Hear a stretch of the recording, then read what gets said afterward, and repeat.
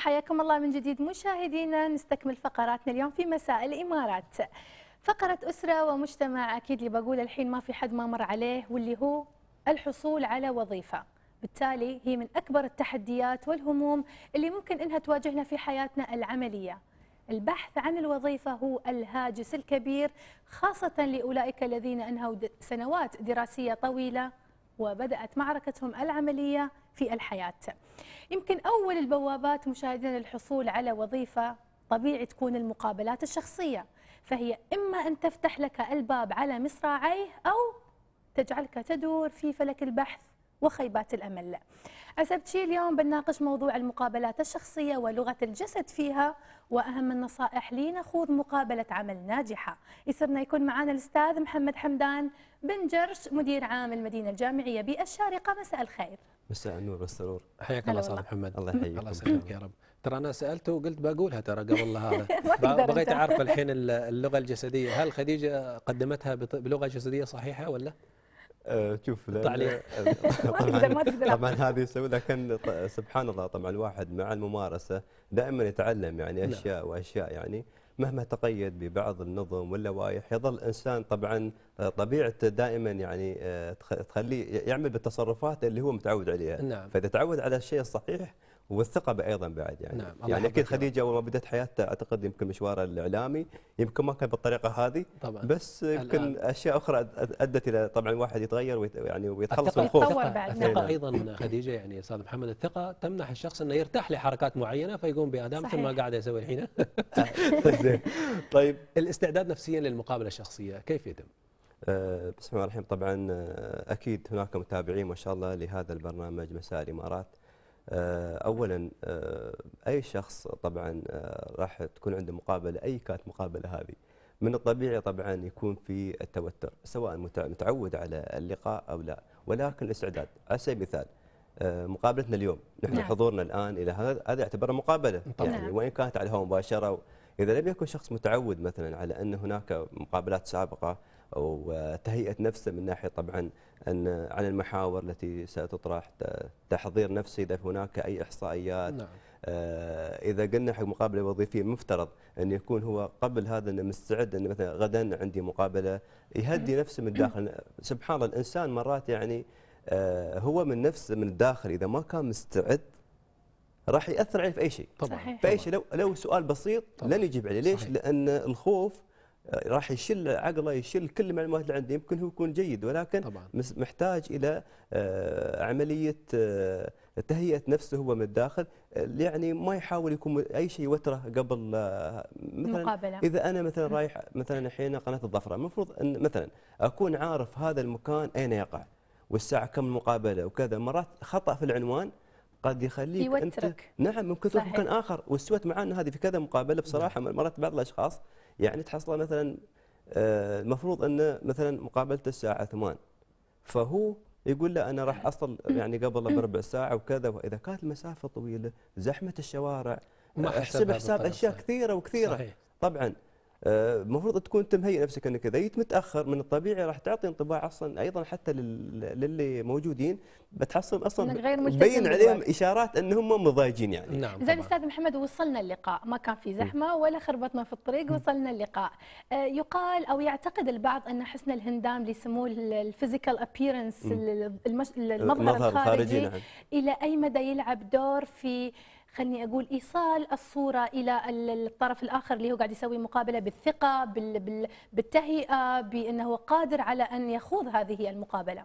طبعا شيء طبيعي من حق المؤسسة طبعا والناس اللي هم مخولين باجراء المقابلات لانها يحد يعني راح يحددون مصير مؤسسة لأن التميز يأتي عن طريق العنصر البشري هذا. صحيح. فثق تماما أنت أيها الشخص يعني الباحث عن عمل مثل ما أنت عليك ضغط يعني نفسي أيضا الأشخاص الذين هم يقومون بمقابلتك عليهم أيضا ضغط طبعا نفسي أكبر طبيعي. لأن إذا في عدم في عدم يعني اختيار الشخصية المناسبة مناسبة للمكان المناسب سوف يحاسبون هم يعني فعليك اولا طبعا مثل ما تفضلتي خديجة إذا أتى من من وقت هذا الحمد لله هذه هذه أول- أول أول. شغلة أول مم. خطوة أول خطوة الخطوة الثانية من الطبيعي طبعا هم سوف ينظرون طبعا أكيد الواحد لازم يكون مرتب رايح مكان يعني ما يكون مبهدل سهران في الليل وجاي مثلا يعني آه،. يعاني من التعب آه، السهر مش مركز طبعا في أثناء الأسئلة الصوت مش واضح نعم آه، عملية مثلا يتكلمون معاه وعامل طبعا تشبيك ال- ال- ال- اليد لغة أو تشبيك الجسد. الأصابع نعم الأصابع عندك دائما كل ما طبعا يطرح سؤال آه، يهز يهز راسه. طبعا هذا يدل إنه يعني مجاملة فهذا إذا كانت في وظائف ترى حساسه جدا أن مطلوب طبعا صفات معينة. فهم القصد المقابلة أن يشوفون الشخص هذا هل في القيم أو المواصفات لهذا. الشيء الثاني ما يكون طبعا شيء طبيعي مثلا انه لما يسألك أي سؤال آه، ثق تماما أن مرات السؤال هدفنا أن أكيد التوصل إلى إجابة معينة. مرات في بعض الأسئلة أيضا تدل على مدى أنت اطلاعك على هذا. إذا يعني متى يصير توتر؟ أنت كل شيء يعني قدمته كان مناسب. ولكن أسألك سؤال مثلا ماذا تعرف عن المؤسسة هذه. أنت أنت أتيت لها المؤسسة بقدم وظيفة. طبعاً. عبارة هل أنت عندك الرغبة الصادقة؟ إذا أنت عفوا آه، سوف ت- تقوم بعمليه مجاملة وكذا بتقول والله حتى اسم المكان. مثلا الحين قناة الظفرة. يمكن واحد يقول والله يعني إذاعة الظفرة. تفرق ترى. طبعا. صحيح. تفرق. صحيح. طبعا طبعا. تفرق تفرق. يعني آه تعقيبا على كلام الأخت خديجة أيضا وعلى كلامك هل نقدر نقول فعلا أن حسن الهندام هو أول طرق النجاح في المقابلة؟ أكيد ومرات على فكرة قد يكون سلاح ذو حدين في بعض سواء ذكر أو أنثى تحصل والشيء أيضا الزائد عن حد طبعاً. أيضا نقول انت أنت لست ذاهبا إلى حفلة آه، عائلية أو مناسبة أنت ذاهب إلى مقابلة عمل فبالتالي نعم. يعني تكون أنت يعني منظم مرتب طبعا هندامك جيد آه، يعني آه، يعني في نوع من الرتابة يعني من- منظم طبعا إيه. طيب نحن وصلنا وهندامنا جيد ولغة الجسد. متى تكون داعمة ومتى تكون خلني أقول مدهورة لهذا اللقاء؟ مدهورة طبعا إذا مدهورة هذه في قياده السير إذا كان في تهور مثلا أنت؟ يعني مثلا الحين في المقابلة. آه، كن مستمع جيدا. مثلا في سؤال لما حد يسألك مثلا مش معقول مثلا؟ إذا يسألني مثلا عبد الله أنا اشوفك أنت بيقول. هذا كيف يعني؟ الحين يعني الشيء الثاني مثلا إذا أنت سألتيني مثلا سؤال وأنا أجاوب وأنا يعني مطاط الرأس مثلا منزل رأسي التواصل البصري نعم المفروض. إني أشوف الشخص لما يسألني أشوفه طبعا بهذا الشيء الثاني الجلسة تكون يعني جلسة ما أكون أنا يعني طبعا يعني متصلب مثلا بزاوية كذا أو أكون مسترخي على الآخر أو مثلا عفوا مقابلة وأنا يعني أضع قدم فوق قدم قدم. نعم. وأحرك طبعا حركات وأقود أنا ال- اللقاء أيوة تكون تكون. أيوه فتكون أنت يعني شو عندك يعني نوع من الثقه المتوازنه ما أقول ثقه زيادة لا، والابتسامة طبعا ما اي واحد طبعا مكشر يعني يعني أي شخص يكون قلق طبيعي نعم. طبيعي يعني حتى إحنا قبل مقابله أي مقابله مهما بلغت أنت من ثقة بالنفس وهذا والشيء الثاني بعد مطلوب أي شخص ان يعني يكون في قليل من التوتر ليش يخليك حريص إنك أنت حريص تبدع وحذر. صحيح. طبعا لكن تخيل أنت مثلا على سبيل المثال يعني آه، حصل قبل أيام معنا شخصيا يعني آه، بدون ذكر اسم هذا آه، يعني على الإذاعة. اتصلوا فيني قبل بكم من يوم قالوا في محاور راح تكون عن كذا كذا عن قلت لهم okay وكنت في اجتماع أنا نعم. قلت لهم ولكن عندي اجتماع رجاء إذا بالضبط الساعة كذا okay جهزت نفسي خلاص يا جاني اتصال ولكن في أول سؤالين أنا صراحة ما يعني ما كانوا لي أنا يعني كانوا نعم. لشخص آخر يعني. نعم. ولكن لله الحمد إن إحنا يعني متعودين على اللقاءات وان عندنا اطلاع يعني على بعض في معلومات الدولة الأخبار اللي نعم. فج يعني داركنا وهذا. فيعني في في في أمور بعد أيضا مرات آه، لجنة المقابلة لما تقابل بتتعمد تسألك أسئلة على أساس النرفزه مثلا. على الطاولة نفسها. أنتم الآن حاطين آه، طبعا آه، أكواب الماء صح؟ نعم. على أساس الواحد يبرد على نفسه طبعا إذا طلع طلع شيء مفاجئ ولا شيء طبعا فشو يصير؟ لو ح... لو كانت قريب الطاولة هذه في المقابلة وعندك قلم انت حاول الأشياء هذه ما تلمسها لأن مرات في الم... يمكن انت شو وانت ماسك القلم مرات في المقابلة تصير تكسر القلم قلم رصاص هذا فيقول لك ها. متوتر خلاص. تخسر تدخل يتعمدون تحصل للأسف مرات بعض الأشخاص يدخل لك مثلا عنده موبايل وكذا طبعا ما شاء الله الحين طبعا آه، آه، تحصل موبايلين ثلاثة. نعم.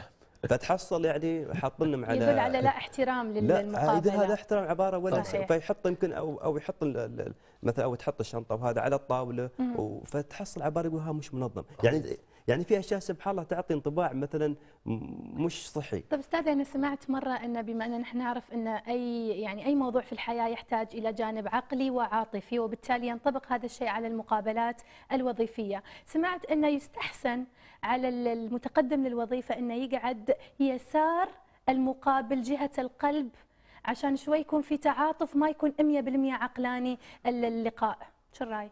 أه بقول على شغلة أه ش- يعني بعد هذه أه نحن نتكلم عن الجانب ال- العملي طبعا صح؟ أكيد. نعم. طبعا هناك نظريات وهناك أمور طبعا فيها أه نتكلم عن الجانب العملي على أساس الواحد دائما طبعا الأشياء اللي مر عليها واللي كذا على سبيل المثال أه أيام الكلية أتذكر أنا. أه تعرفون بالكلية دائما في هناك برزنتيشن نعم أنا من يذكر, يذكر اسم برزنتيشن يعني من يقدم أنا ترتب ودي لو أكون يعني آخر واحد في الهاب وأتعب حمى ويني نفس. ال- يعني كل ما تتوقع من هذا يعني إيش سويت؟ طبعا أنت يدربونك يسوي لكن في شيء أنت من الداخل. مرة من المرات قلت أنا راح أتحدى نفسي من الداخل. هذا. تعبت يا أخي كل مرة. طبعاً. اعرق كم بتحرق أنت؟ كل محاضرة بتعرق وتروح برا. فأول ما قال مين راح يقدم الواحد أنا رفعت. رفعت وحسيت إن إيدي اليسرى ودها يعني بعد تمسك. طلعت مرة وبعد ذلك الله الحمد لله. تشوف كسرت الحاجز وكسرت أنت- الخوف. أنت شيء أو ثق تماما. اخدم نفسك بنفسك. مهما بلغ عندك من تشجيع. لأن حتى في الحياة معلش أنت اجتزت الحين. مرحلة المقابلة. لا تنسى أنت بعدين صرت موظف. زين في بعدين راح تكون عندك تحديات في الحياة. وأهم شيء تحدي الذات طبعا تحدي الذات طور. من نفسك. أنت شو طبعاً. عندك من ضعف؟ كذا كذا كذا. فلا لا يعني لا يعني دائما انظر للأمام. انظر انك أنت يعني غيرك. كيف وصل للمكان هذا؟ غيرك كيف صار؟ هل هو أفضل عنك؟ نعم.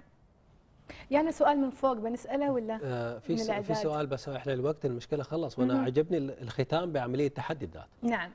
نختم بتحدي الذات هم ترى نعم. سالونا قالوا قي- قيمنا أنا وخديجة آه، يعني في سؤال في, في. هذه المقابلة. على كم على أساس لا تقيم وتفتح الباب يعني كم من عشرة؟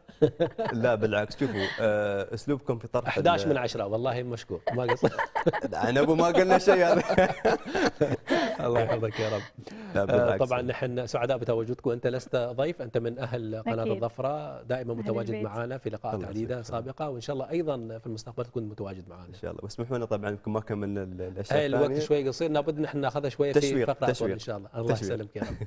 اذا نشكر الأستاذ محمد حمدان من جرش آه، مدير عام المدينة الجامعية بالشارجة. مشاهدينا فاصل طبعا ونرجع لكم بعد قليل.